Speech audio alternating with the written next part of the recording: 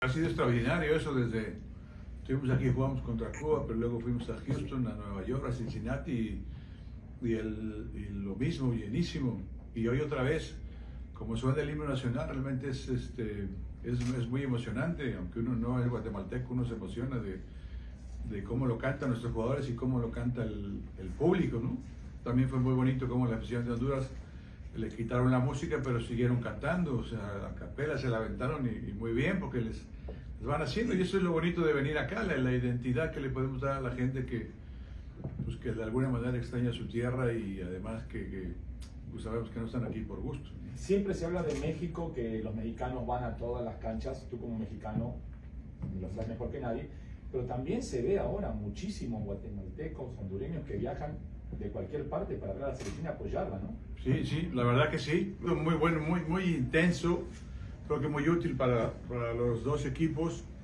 Los primeros 25 minutos creo que Honduras fue mejor que nosotros, entraron más, más conectados, no nos dejaban jugar. Luego creo que se niveló el juego, se emparejó y ya fueron escasas opciones de gol para uno y para otro lado.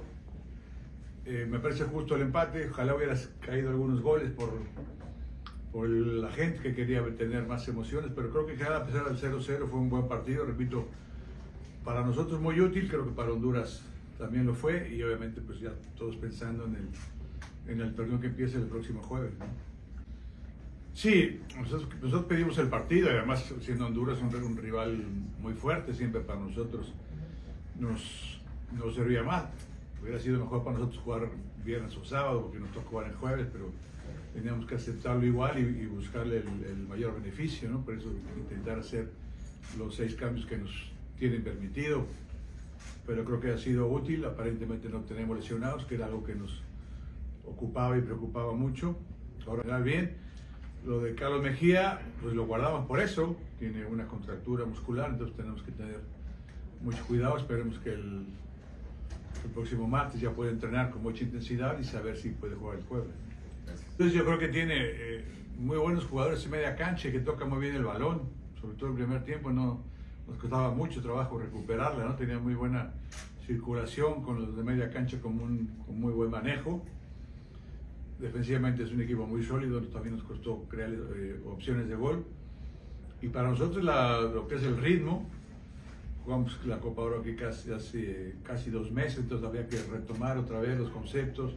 No es fácil después de que estén dos meses con sus equipos regresar a la selección y con tan poco tiempo de entrenamiento y además sin estar completos de, volver a retomar los conceptos que, que, nuestro equipo quiere.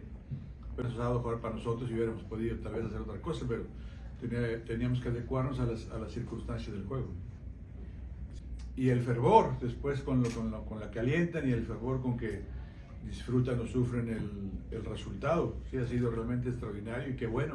Queremos crear una, una identidad con nuestra selección y una relación, una sinergia total con nuestra afición, tanto en la Unión Americana como con la de Guatemala, obviamente, que nos va a apoyar muchísimo el próximo jueves y el domingo. Eso el, el, se vendió en dos horas los boletos en, en, el internet.